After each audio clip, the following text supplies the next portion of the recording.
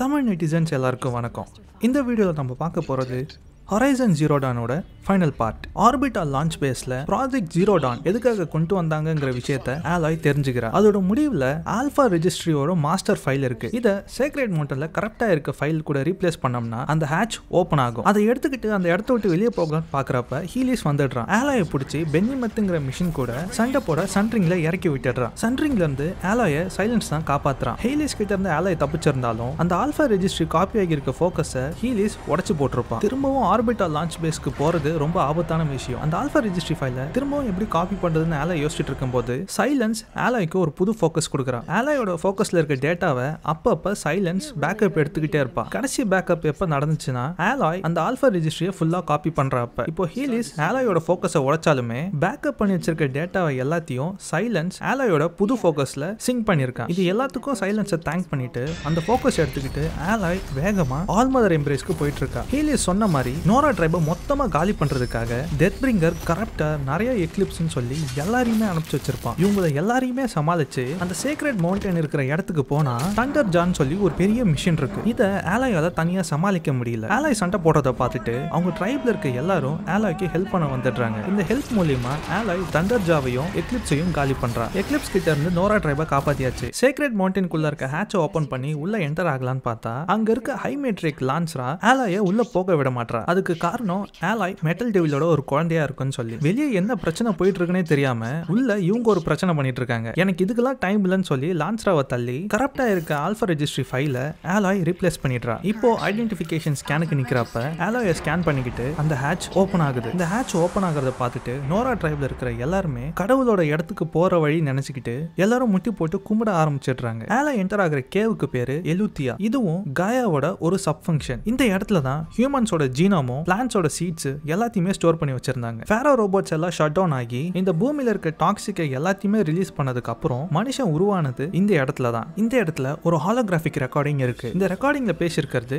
கயா ஒரு artificial intelligence project Zero Dawn ஆரம்பிச்சு எல்லாமே நல்லா தான் போயிட்டு இருந்துச்சு. ஒரு கொஞ்சம் செகண்டுக்கு முன்னாடி ப்ராஜெக்ட் ஜீரோ டானோட மெயின் ஃபங்க்ஷன் சப் ஃபங்க்ஷன் எல்லாம் இருக்கிற ஒரு இடத்துக்கு ஒரு அன்னோன் சிக்னல் யாரோ கொடுத்துருக்காங்க. இந்த அன்னோன் சிக்னல் காயா கீழே இருக்கிற ஒரு சப் ஃபங்க்ஷனை காயாவுக்கு எதிராகவே மாத்துது. எதிராக மாறின சப் ஃபங்க்ஷனோட பேரு? ஹேடிஸ் ஹேடிஸ் காயாவை மொத்தமா அழிச்சு எல்லாத்தையும் இதோட கண்ட்ரோலுக்கு கொண்டு வந்து புதுசா உருவாகி இருக்க மனுஷங்களை மொத்தமா சாகடிக்கிறதுக்கான வேலையை பார்க்க ஆரம்பிக்குது. ஹேடிஸ் பண்றது ப்ராஜெக்ட் ஜீரோ டானோட அப்ஜெக்டிவ்க்கு எதிராக இருக்கிறதுனால காயாவும் அதோட சப் ஃபங்க்ஷனும் இருக்கிற காயா பிரைம் ஃபெசிலிட்டியில் இருக்க ஒரு ரியாக்டரை வேடிக்கை வைக்குது. இப்படி பண்றது மூலியமா ஹேடிஸ் அழிஞ்சிரும். அதே சமயம் காயாவும் அழிஞ்சிரும். எல்லாத்தையும் கண்ட்ரோல் பண்ற ஆர்டிஃபிஷியல் இன்டெலிஜென்ஸ் அழிஞ்சா அது உருவாக்கி வச்சிருக்க மெஷின்ஸ் எல்லாம் கொஞ்சம் வருஷத்துக்கு அப்புறம் அதுங்க இஷ்டப்படி இருக்க ஆரம்பிச்சிடும் இதனால தான் ஸ்டார்டிங்ல மனுஷங்க கூட ஃப்ரெண்ட்லியா இருந்த மெஷின்ஸ் எல்லாமே இப்போ மனுஷங்களை பார்த்தாலே அட்டாக் பண்ண ஆரம்பிக்குது. இந்த பிரச்சனையை சரி பண்றதுக்காக எலிசபெத் சோபக்கோட ஜெனடிக் இன்ஃபர்மேஷனை ரீக்ரியேட் பண்ணி இப்போ இருக்கிற மனுஷங்களுக்கு ஒரு உயிரா கொடுக்க போறேன். அதுவும் இல்லாம ப்ராஜெக்ட் ஜீரோ டானுக்குன்னு உருவாக்கி வச்சிருக்க எல்லா கேவுக்குள்ளேயும் இந்த ஜெனடிக் இன்ஃபர்மேஷன் வச்சிருக்கிறவங்களால மட்டும்தான் என்டர் ஆக முடியும். அப்படி என்டர் ஆனதுக்கு அப்புறம் அங்க இருக்க ஃபோக்கஸ் எடுத்து எல்லாத்தையும் கத்துக்கிட்டு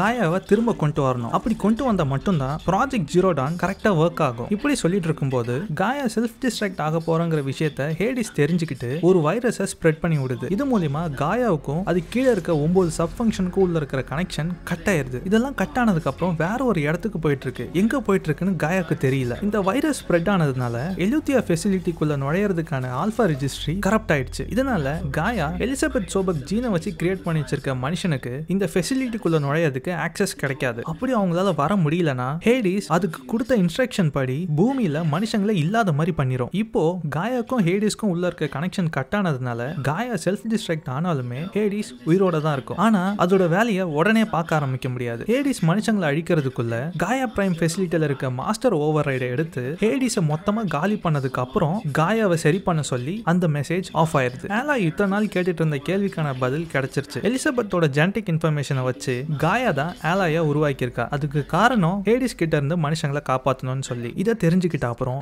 எல்லார் மாதிரியும் நம்ம பிறப்பு இல்லையன்னு சொல்லி ஃபீல் பண்ணிட்டு இருக்கா காய சொன்ன மாதிரி ஆலாய் காய பிரைம் ஃபெசிலிட்டிக்கு போகிறதுக்காக அந்த எழுத்தியா ஃபெசிலிட்டியை விட்டு வெளியே வரா. அப்படி வரப்ப நோரா ட்ரைப்ல இருக்க எல்லாருமே ஆலாய கடவுள் மாதிரி பார்த்து கும்பிட்டு இருக்காங்க அப்போதான் ஹை மேட்ரிக் தெர்சா கேட்கறாங்க உள்ள என்னாச்சுன்னு? இவங்க கிட்ட காயா ஹேடிஸ் இவங்கலாம் ஒரு ஆர்டிஃபிஷியல் இன்டெலிஜென்ஸ்னு சொன்னா புரிய போறது இல்ல மெட்டல் டீமன் கிட்ட இருந்து மனுஷங்களை காப்பாத்துறதுக்காக தான் அந்த ஆள் மதர் என்ன உருவாக்கி இருக்காங்கன்னு சொல்லி புரிய வைக்கிறா. இப்படி ஆலாய் சொன்னதுக்கு அப்புறம் நோரா ட்ரைப்ல இருக்க எல்லாருமே ஆலாய கடவுளாவே பார்க்க ஆரம்பிச்சிடுறாங்க. ஆலாய் செம கடுப்பாகிறா. பிறந்ததுல இருந்து அவுட் கேஸ்ட்னு சொல்லி ஆலாயை ஒதுக்கி வச்சுட்டு இப்போ கடவுள்னு சொல்லி கும்பிட்றப்ப ஆலாயால ஏத்துக்க முடியல. இவங்க என்ன நினைச்சுக்கிட்டாங்கன்னா நோரா ட்ரைபோட நல்லதுக்காக தான் ஆலாய் இவ்வளவு பெரிய விஷயத்தை ஏத்துக்கிட்டான்னு சொல்லி. ஆனா ஆலாய் போராட போறது பூமியில இருக்க எல்லா மனுஷங்களுக்காகவும் தான். மாஸ்டர் ஓவர் கண்டுபிடிக்க ஆலாய் காயா பிரைம் ஃபெசிலிட்டிக்குள்ள போயிட்டு இருக்கா அந்த இடத்துல எலிசபெத் சோபக்கோட ஒரு ஃபியூனரல் போட்டோ இருக்கு. அது கூட எலிசபெத் கடைசியா எப்ப பேசியிருந்தாங்கன்னு சொல்லி ஒரு ஹாலோகிராஃபிக் வீடியோவும் ஸ்டோர் ஆயிருக்கு. அதை ஆலாய் பிளே பண்ணி பாக்குறா இந்த மாதிரி ஃபெசிலிட்டிஸை எல்லாத்தையுமே அண்டர் கிரவுண்ட்ல வச்சதுக்கு காரணம் ஃபேரோ ரோபோட்ஸ் கண்ணில் படக்கூடாதுன்னு சொல்லிட்டு தான். ஃபேரோ ரோபோட்ஸ் கிட்ட ஸ்கேனர்ஸ் ரிசீவர்ஸ் கூட இருக்கு. இந்த ஸ்கேனர்ல ஏதாவது ஒரு எனர்ஜி சிக்னல் வந்தா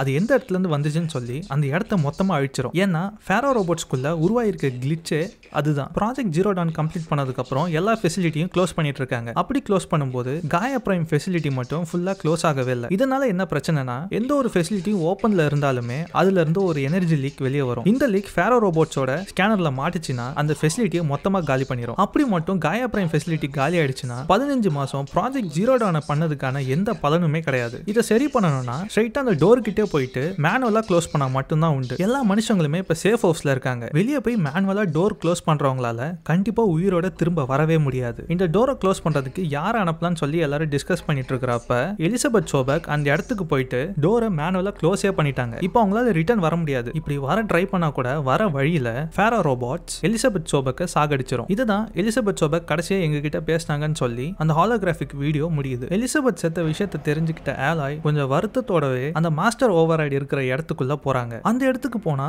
ஒரே மனுஷங்க எலும்பு கூட இருக்கு. செத்தது யாருன்னு பார்த்தா ப்ராஜெக்ட் ஜீரோ டான் பண்ணிருக்க மெம்பர்ஸ் தான். அதுக்கு காரணம் என்னன்னா ப்ராஜெக்ட் ஜீரோ டான்ல அப்போலோன்னு சொல்லி ஒரு ஃபங்க்ஷன் இருக்கு. அதோட வேலை என்னன்னா புதுசா உருவாகி வர மனுஷங்களுக்கு தேவைப்படுற நாலேஜ் எல்லாத்தையுமே அப்போலோல இருந்து அவங்க எடுத்துக்கலாம். இந்த மாதிரி நம்ம கத்துக்கிட்ட டெக்னாலஜி நம்ம கல்ச்சர் எல்லாத்தையும் புதுசா வர மனுஷங்களுக்கு தர வேணாம்னு சொல்லி டெட் ஃபேரோ அங்க இருக்க எல்லாருக்கிட்டையும் சொல்லுவான். அதுக்கு காரணம் நம்ம டெக்னாலஜி நம்ம கல்ச்சர் எல்லாத்தையும் புதுசா வர மனுஷங்களுக்கு சொல்லி கொடுத்தோம்னா நம்மள மாதிரி அவங்களும் மோசமாயிடுவாங்க. இதுதான் காரணமா சொல்றேன். ஆனா அங்க யாருமே ஏத்துக்க மாட்டாங்க அதனால அந்த ரூம்ல இருக்க ஏரை எல்லாத்தையுமே வெளியே தள்ளி ஒரு வேக்யூம் கிரியேட் பண்ணிடுறான் காத்தே இல்லாம அங்க இருக்கிற எல்லாருமே இறந்து போயிடுறாங்க. இந்த ஒரு காரணத்தினால தான் மனுஷங்க உருவானதுக்கு அப்புறமும் அப்போலோ ஃபங்க்ஷன் மனுஷங்களுக்கு எந்த ஒரு நாலேஜுமே கொடுக்க முடியல. இந்த மாஸ்டர் ஓவர் ரைடு எடுத்துக்கிட்டு காயா பிரைம் ஃபெசிலிட்டி விட்டு வெளியே வரலான்னு போகிறப்ப சைலன்ஸ் அந்த இடத்துல நின்றுட்டு இருக்கான். ஷாக் ஆகி பாக்குறா. நீ இந்த இடத்துல என்ன பண்றேன்னு சொல்லி நான் சொல்ல போறது ரொம்பவே முக்கியமான விஷயம்.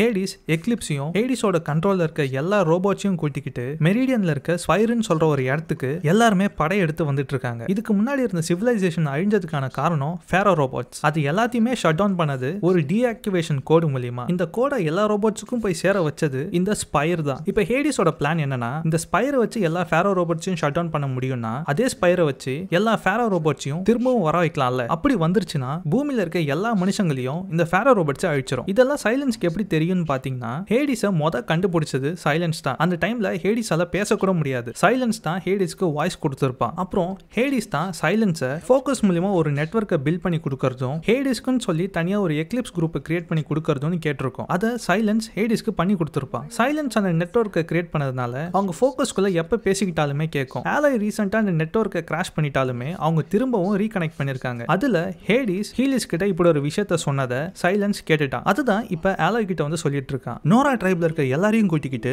ஆலாய் மெரிடியனுக்கு போறான் அங்க போனதுக்கு அப்புறம் சன்கிங் கிட்ட ரோபோட்ஸ் எல்லாமே மெரிடியன் அட்டாக் பண்ண வருதுன்னு சன்கிங் கிட்ட சொல்றப்ப அவர் இதை பெருசாவே எடுத்துக்க மாட்டாரு பெருசாவை கொலை பண்ணவனை கண்டுபிடிக்க ஹெல்ப் பண்ணது ஆலாய் தான். அந்த ஒரு காரணத்துக்காக ஆலாய் சொன்னது பாதி உண்மையா கூட இருக்கலாம்னு சொல்லி சன்கிங் அவங்க ஆளுங்களை கொஞ்சம் பேரை அனுப்புறாங்க. இப்படி இவங்க பேசிட்டு இருக்கிறப்ப தூரத்துல ஏதோ புகை மூட்டமா இருக்கு. நார்மலா அட்டாக் பண்ற மெஷின்ஸ் மாதிரி தான் இதுவும் சொல்லி பார்த்துட்டு இருக்கும் போது மெரிடியனுக்கு கனெக்ட் ஆயிருக்க ஒரு பெரிய பிரிட்ஜ் வெடிச்சு செதறத சன்கிங் அவர் அவர் கண்ணால பாக்குறாரு? அது மட்டும் இல்ல ஆலை சொன்ன மாதிரி ரோபோட்ஸும் மெஷின்ஸும் கூட்டம் கூட்டமா வர்றத கவனிக்கிறாரு. இதை பார்த்ததுக்கு அப்புறம் தான் ஆலை சொன்னது எல்லாமே உண்மைன்னு சொல்லி அவர் கூட இருக்க ஆளுங்களை எல்லாரையுமே அந்த ரோபோட்ஸை எதிர்த்து சண்டை போடுறதுக்கு அனுப்புறாரு. அப்படி போறவங்கள ஹீலிஸ் அட்டாக் பண்றான். ஹேடிஸ்க்கு அந்த ஸ்பயர் வேணும். ஹீலிஸ்க்கு சங்கிங்கோட பதவி வேணும். ராஸ்ட கொண்டவனை பழி வாங்குறதுக்கு இதுதான் சரியான நேரம்னு சொல்லி ஆலாய் ஹீலிஸ் கூட சண்டை போட கிளம்பிடுறான். அப்படி நடக்கிற சண்டையில ஹீலிஸ் தோத்துடுறான். ராஸ்ட கொலை பண்ணதுக்காக பழி வாங்கிட்டோம்னு நினைச்சு ஆலாயால சந்தோஷப்பட முடியல. ஏன்னா ஹேடிஸ் ஒரு மெஷின் கூட கூட்டத்தையே கூட்டிக்கிட்டு மெரிடியனுக்குள்ள என்டர் ஆக பாக்குது அதுங்களை எல்லாத்தையுமே உள்ள வர விடாம தடுத்துக்கிட்டு இருக்க சோல்ஜர்ஸ் கூட சேர்ந்து ஏலாயும் சண்டை போட்டுட்டு இருக்கா. இவங்களாலையும் ஓரளவுக்கு தான் சமாளிக்க முடியுது. எவ்வளவு மிஷின்ஸ் அழிச்சாலுமே இன்னும் நிறைய வந்துகிட்டே தான் இருக்கு. அப்படி இருக்கிறப்ப ஒரு டெத் பிரிங்கர் மெரிடியனோட கேட்டை எய்ம் பண்ணி ஷூட் பண்ணிடுது. இதுல அந்த கேட் உடஞ்சி ஏலாய் மேல விழுந்துருது. ஏலாய் மயங்கி விழுந்துடுறா. கொஞ்ச நேரத்துக்கு அப்புறம் கண்ணு முழிச்சு பாக்குறப்ப டெத் பிரிங்கர் ஹேடிஸை இழுத்துட்டு போறத பாக்குறா ஏலாய்க்கு அடிப்பட்டதுனால பழைய மாதிரி வேகமா போக முடியல. ஹேடிஸ் இருக்கிற இடத்துக்கு கீழே வந்து பாப்பா அந்த ஸ்பயரை ஹேடிஸ் ஆக்டிவேட் பண்ணியிருக்கோம். இது மூலியமா பூமிக்கு அடியில் புதஞ்சிருக்க எல்லா டெத் பிரிங்கர் மெஷினுமே ஆக்டிவேட் ஆகுது. ஆக்டிவேட் ஆன அடுத்த செகண்டே பயோமாஸை ஃபியூவலா எடுத்துக்குது. இப்படி எடுத்துக்கிறதுனால எல்லா ரோபோட்ஸ்க்கும் எனர்ஜி வந்துருது. அப்படி வந்ததுக்கு அப்புறம் மனுஷங்களை அட்டாக் பண்றதுக்கு ரெடியா இருக்கு. சீக்கிரமா ஹேடிஸை பர்ச் பண்ணணும்னு சொல்லி ஆலாய் ஹேடிஸ் இருக்கிற இடத்துக்கு வரா. ஹேடிஸை எப்படி பர்ச் பண்ணலாம்னு சொல்லி யோசிச்சுட்டு இருக்கிறப்ப ஹேடிஸ் ஆலாய் வர்றதை கண்டுபிடிச்சிருக்கும். ஹேடிஸ் ஜஸ்ட் ஒரு ப்ரோக்ராம் அதால ஸ்ட்ரைட்டா ஆலாய் கூட சண்டை போட முடியாது. அதனால அது கீழே இருக்க மெஷினை கரெக்ட் பண்ணி ஆலாய் கூட சண்டை போட விடுது. இது எல்லாத்தையும் சமாளிச்சு ஆலாய் ஹேடிஸை பர்ச் பண்றதுக்கு அந்த மாஸ்டர் ஓவர் ரைடை இன்சர்ட் பண்ணிடுறா. இப்படி பண்ணதுனால ஆக்டிவேட் ஆன எல்லா ஃபேரா ரோபோட்ஸும் திரும்பவும் டீஆக்டிவேட் ஆயிருது. சன்கிங்கோட ஆளுங்க கூட சண்டை போட்டுட்டு இருந்த எல்லா மெஷின்ஸும் கூட ஸ்டாப் ஆயிருது. பர்ச் பண்ணது கரெக்டா ஒர்க் ஆயிருக்கான்னு சொல்லி ஆலாய் எழுந்திருச்சு பாக்குறா. அங்க ஹேடிஸ் இருக்கிறதுக்கான தடையுமே கிடையாது. வெளியில இருக்க எல்லா மெஷினும் டீஆக்டிவேட் ஆனது ஆலாய்க்கு தெரியாது. எல்லாமே கரெக்டா தான் இருக்கான்னு சொல்லி வெளியே வந்து பாப்பா எல்லா மெஷினுமே ஆஃப் ஆயிருக்கும். இதை பார்த்துட்டு ரொம்பவே சந்தோஷப்பட்டுக்கிறா. ஹேடிஸ் கூட எதிர்த்து சண்டை போடுறப்ப நிறைய உயிரிழப்பு இருந்தாலும் ஆலாய்க்கு க்ளோஸா இருக்க எரண்ட் அப்புறம் வார்ல் இவங்க எல்லாம் உயிரோட இருக்கிறத பார்த்துட்டு ஆலாய்க்கு கொஞ்சம் நிம்மதியா இருக்கு. ஹேடிஸை தடுத்து நிறுத்துறதுக்காக தான் காயா ஆலாய உருவாக்கியிருப்பா. அந்த வேலையை ஆலாய் கரெக்டா பண்ணிட்டா. ஆனா இதை அவ தனியா பண்ணல. எல்லா ட்ரைபோட உதவினாலையும் தான் பண்ணா. சன்கிங்கோட கனவு கூட அதே தான் எல்லா ட்ரைபுமே தனித்தனியா பிரிஞ்சிருக்காம எல்லாம் ஒன்னா இருந்தோம்னா எந்த ஒரு பிரச்சனை வந்தாலும் எல்லாராலையும் சமாளிக்க முடியுங்கிறது தான். இப்போ ஆலாய் மூலயமா சன்கிங்கோட கனவு நிறைவேறுது. என்னதான் ஆலாய் இவ்வளவு பெரிய விஷயத்த சாதிச்சிருந்தாலும் இதை எல்லாத்தையும் பக்கத்துல இருந்து பாக்குறதுக்கு ராஸ்ட் முடியலையேன்னு நினைச்சு வருத்தப்பட்டுட்டு தான் இருக்கா. எலிசபெத் சோபர் கடைசியா காயா பிரைம் ஃபெசிலிட்டியை க்ளோஸ் பண்றதுக்காக போயிருப்பாங்க. ஃபேரா ரோபோட்ஸ் எல்லா இடத்துலயும் இருக்கிறதுனால எலிசபெத்தால திரும்ப வர முடியாம போச்சு. அவங்க கடைசியா எந்த இடத்துல இறந்தாங்கன்னு சொல்லி இன்ஃபர்மேஷன் காயா பிரைம் ஃபெசிலிட்டில இருந்துச்சு. அந்த இடத்துக்கு தான் இப்ப ஆலாய் வந்து பாக்குறா. ஆலாயால அவங்க அம்மாவை உயிரோட பார்க்க முடியல. அட்லீஸ்ட் இறந்து போயிருக்க அவங்க அம்மாவுக்கு ஒரு கடைசி மரியாதையாச்சும் கொடுக்கணும்னு சொல்லி ஆலாய் அதை பண்ணிட்டு இருக்கா.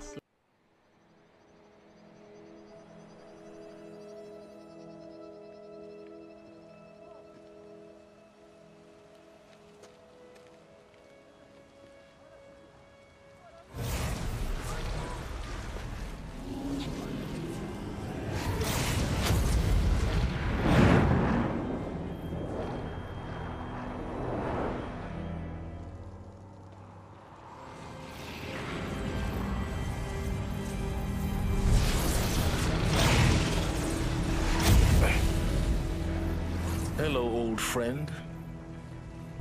Remember me? We've still so much to discuss. So much you never revealed. Your masters, for example. The ones who sent the signal that woke you. Knowledge has its rewards, don't you think? Well, let's begin.